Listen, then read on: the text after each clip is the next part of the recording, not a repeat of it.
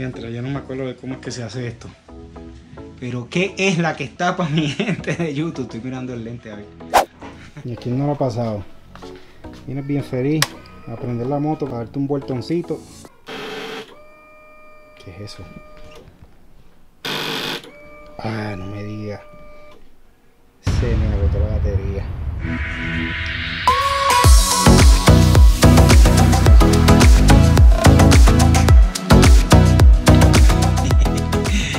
Estamos bien, gracias a Dios. Estamos bien, estamos seguros. ¿Cómo están ustedes? Es tiempo que no hago un videito. Pero yo creo que es apropiado hacer un videito de cargar la batería porque yo no sé, para mí se me agota la batería y eso es un dolor de cabeza. Y yo sé que hay mucha gente por ahí, porque lo he visto en las redes, se le está agotando la batería, que no la pueden prender. Tienen que preocuparse de llevar la moto a un taller, a dónde van a llevar la batería a cargar, que cómo se hace eso. Pues les tengo una solución tan sencillo como un cargador de laptop. Yo creo que todo el mundo por ahí tiene un cargador de laptop en la casa y el que no se lo pide prestado al vecino o va a una tienda y lo pide prestado, alquilado. Vamos a bregar con un cargador de laptop y les voy a enseñar cómo cargar la batería de la moto con un cargador de eso. Vamos allá.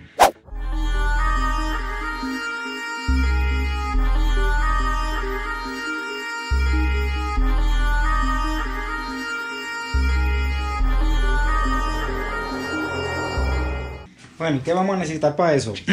pues el componente que va a ser, el que va a cargar la batería va a ser el, cargador este de portátil o laptop. Yo creo que todo el mundo tiene esta vaina por ahí. Y, lo más curioso de este video y por qué lo quise hacer es porque si tú te fijas ahí en el cargador, dice que esto es 19.5 voltios, por ejemplo este que yo tengo aquí. Y la batería de nosotros, pues... Todo el mundo sabe y si no te lo estoy diciendo ahora porque lo sepas.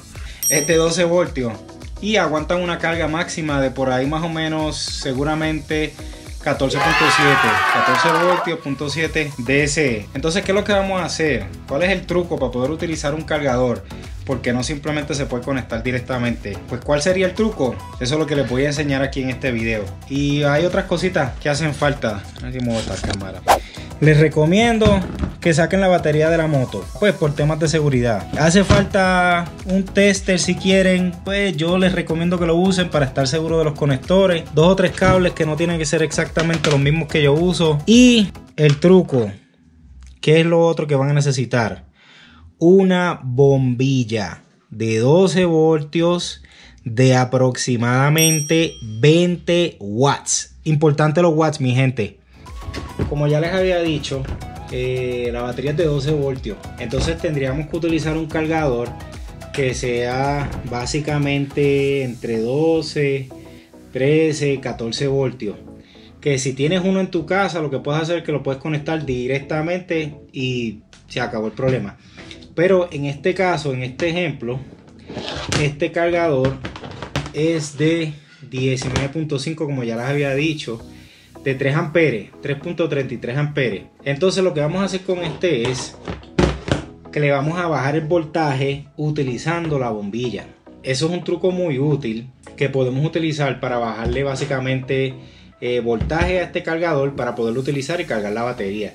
El tester es básicamente para asegurarnos de que vamos a conectar todo donde lo tenemos que conectar. Positivo a positivo, negativo a negativo, cuánto voltaje está dando el cargador y asegurarnos que, que no vamos a causar un problema. Entonces el tema de la bombilla, como les estaba diciendo, es básicamente porque la bombilla es una resistencia. O sea, y tiene que ser una bombilla de filamento.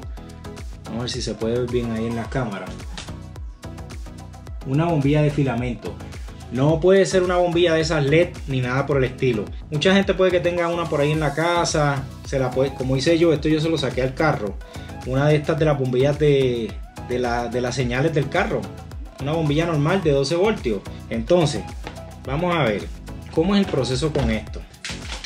Bueno, lo primero que quiero que vean es que esta batería, comprobar el voltaje que tiene, que básicamente me está diciendo que tiene ahora mismo 11.96 o sea que está muy bajita en voltaje y por eso es que no me prende la moto. El voltaje de ella ya yo lo he dicho en otros videos debería de ser de más o menos entre 12.9 12.7 eh, como hasta 13.7 13 y pico es más o menos el voltaje que una, una buena batería debería de tener.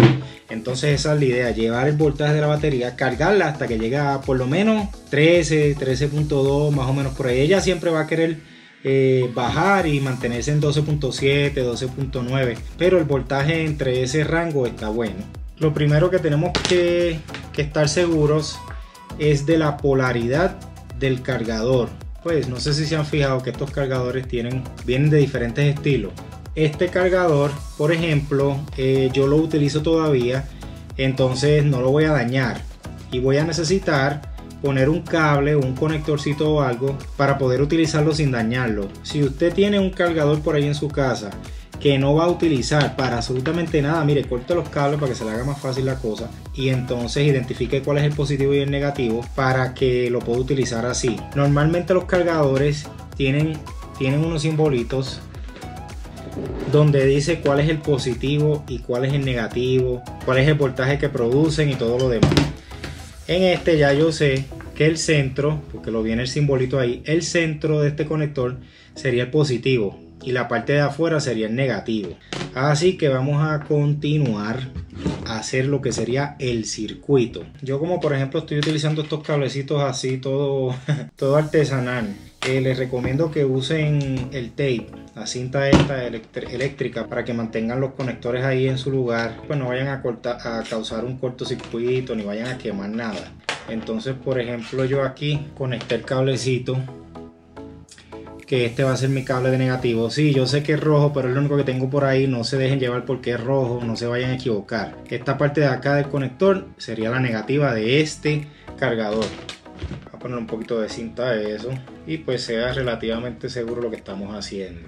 Otro punto importante es que mientras estén haciendo las conexiones eh, no conecten todavía al cargador pues por el tema de seguridad obviamente. Entonces cómo es el circuito ahí les voy a poner una foto de cómo va el circuito mientras se los explico. Pero básicamente del negativo de lo que sería el terminal negativo del cargador va a ir directo directo directamente al negativo de la batería. Listo ya tenemos eso ahí directamente al negativo de la batería.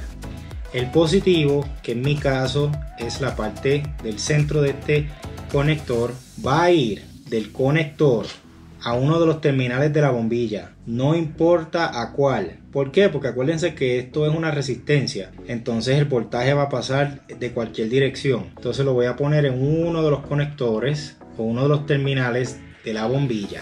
¿Ok? Entonces negativo a negativo de la batería positivo a uno de los terminales de la bombilla. De ahí voy a sacar del otro terminal de la bombilla, va a ir a mi positivo en la batería. Como les estaba explicando, ¿qué tenemos con esto? Lo que logramos con esto es hacer que esa bombilla, al ser una resistencia, lo que hace es que me le baja el voltaje al cargador que es de 19.5 voltios en mi caso en este momento y lo que queremos es bajarle el voltaje, cosa de que el voltaje constante más o menos para cargar la batería sea entre, entre 13.5 a 14.7 como máximo, que es más o menos lo que da una moto cargando la batería. Y lo que vamos a hacer ahora básicamente es que lo vamos a conectar. Una vez conectemos, uno de los indicadores que hicimos bien el circuito es que tan pronto este cargador empiece a mandar su voltaje, esa bombilla va a prender. Eso es uno de los indicativos de que lo hicimos bien.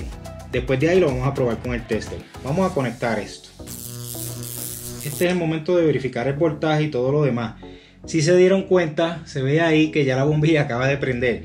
Quiere decir que el circuito está bien conectado y que por ahora vamos bien. ¿Qué voy a hacer ahora? Ahora vamos a revisar el voltaje para estar seguro de que sí estamos bien conectados. Yo quiero revisar el voltaje que le está llegando a la batería. Pero ahora mismo la batería me le está llegando 13.08 voltios. Lo que quiere decir que en este momento ya está cargando. Ya está confirmado que está cargando. Si quisiéramos eh, corroborar cuál es el voltaje que tiene el cargador directamente, en vez de conectar los dos terminales del tester a la batería, lo vamos a conectar al positivo que sale del cargador. Y están saliendo efectivamente 19 0.5 voltios del cargador. ¿Por qué? Porque esta prueba que estoy haciendo aquí está justo antes de esa bombilla. Bueno, vamos a hablar de algunos detallitos importantes. Bueno, puntos importantes a seguir con respecto al circuito.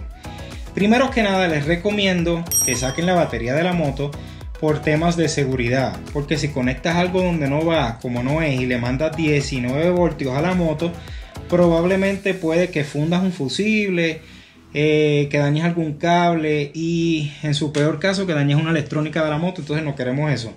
Segundo punto importante, eh, Ori, ¿cuánto tiempo hay que dejar la batería cargando? Eso es una pregunta que es un poquito eh, complicada. ¿Por qué? Porque cada cargador es diferente. Entonces, ¿de qué depende eso? De cuántos amperes tiene el cargador. Yo voy a dejar cargando esa batería. Si no, si, si se acuerdan bien, tenía como 11 puntos y pico de, de voltaje. Entonces yo necesito que ya llegue como a 13.3, 13.2. Yo estoy estimando que voy a dejar conectada esa batería aproximadamente unas 4, 5, 6 horas. Eh, ¿Cómo voy a estar seguro? Pues básicamente como yo tengo un tester, yo la voy a ir conectando de vez en cuando, apago el circuito obviamente, o sea que desconecto el cargador y verifico el voltaje para asegurarme que ya está llegando a su voltaje correcto. Siempre pendiente asegurándonos de que todo pues está bien, toquen la batería, que no esté en una temperatura excesivamente caliente, porque ella sí va a coger temperatura, pero que no sea una temperatura excesiva donde uno casi ni pueda ni tocarla, porque ahí sí quiere decir que hay un peligro de que la batería pueda estallar.